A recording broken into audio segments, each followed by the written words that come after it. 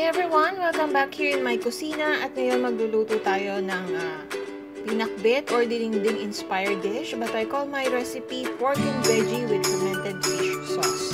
So tara na, magluto na tayo. Nai-ready ko na yung mga gulay para sa lulutuin natin ngayon. Nakababad lang siya dito sa tubig, nilagyan ko ng asin. So after ko siyang hugasan, icha-chop ko na And then, ibababad ko ulit siya sa tubig. Lalo na yung mga hindi binabalatan na gulay, kagaya ng sitaw, tsaka yung mga leafy vegetables. Para naman sa baboy, gumamit ako dito ng kalahating kilong laman. Medyo marami-rami itong lulutuin ko, kaya dinamihan ko rin yung sahog na baboy. So, islice ko lang siya ng manipis, kagaya niyan.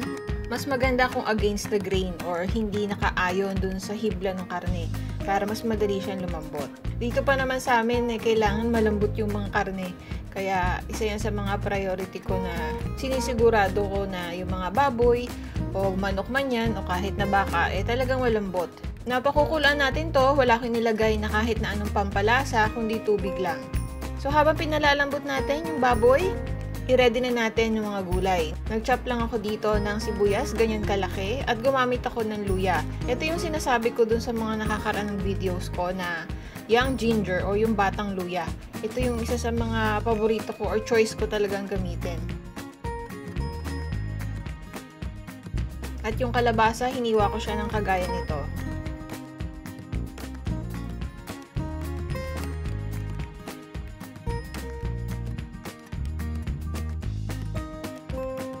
Naglagay din ako ng kamote or yung sweet potato.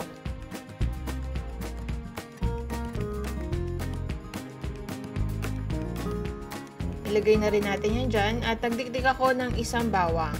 Pagsamasamahin lang natin yan dito sa ating lutuan, nagdagdag din ako ng tubig, halos sa pantay dun sa gulay, at pakukuloan natin to hanggang sa at least maging half cook man lang yung ating mga nakalagay dito. Bago tayo magluto, gusto ko lang i-welcome lahat ng bago nating subscribers. If you want to check out my previous videos, i-click nyo lang yung My Kusina icon sa lower left ng ating screen at i-direct na kayo doon sa homepage ng My Kusina.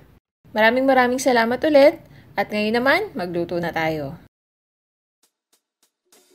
Kapag kumukulo na, pwede nang ilagay yung iba nating mga gulay kagaya ng sitaw. Pinutol-putol ko lang siya ng ganito kahaba. At yung ating ampalaya. Hiniwa ko ng kagaya nito. Naglagay rin ako ng talong at yung bagoong na isda. Ayan. Pakukuluan natin to ulit para magpantay ang luto. Nilagyan ko lang siya ng takip. At pagkatapos niyan, isunod na natin dito yung ating ibang gulay, kagaya ng okra, at saka yung dahon ng ano, ng saluyot. Ilagay na rin natin dito yung bulaklak ng kalabasa. Ito, paborito to ng aking kasama dito. Medyo nalanta na lang siya kasi kanina umaga pa namin to binili. Ay gabi na ngayon. Okay, so nilinis ko lang siya kagaya nito. Tanggalin natin yung pinaka-ovary niya or yung mga pollen. Hugasan din natin siya ng tubig.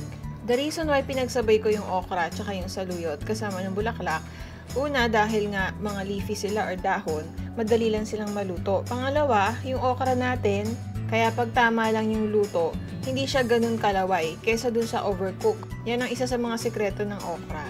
Habang niluluto pa natin ang gulay, balikan natin yung nilaga nating baboy. Natuyo na yung pinakatubig na nilagay ko dito, no? At nagdagdag pa yata ako ng konti para lang ma-achieve ko yung lambot na gusto ko.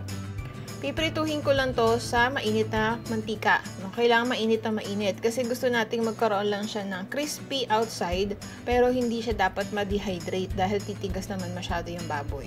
At kapag ka malapit na siya dun sa point na satisfied na ako sa pagkaprito niya, bubudburan ko lang ng patis. Ito yung pinaka magiging pampalasa niya. Kapag ka tinry nyo itong technique na to, even sa isda o kaya naman sa manok na prito, makikita nyo talaga yung difference. Ang sarap niya talaga. Iba yung linamnam ng alat niya. Balikan natin yung ating gulay. Nagdagdag pa ako dito ng konting bagoong. So, kapag satisfied na tayo sa pagkaluto ng bawat gulay na sahog natin, pwede na tayo mag-serve. At yung baboy na pinirito, ilalagay lang natin yan sa ibabaw as toppings. Ayan, ganun lang po. Sana makapag-share kayo ng mga gulay recipes ninyo. I-comment nyo lang po sa baba at try nating lutuin yan sa susunod nating mga cooking videos. Maraming salamat sa panonood. See you again on my next video.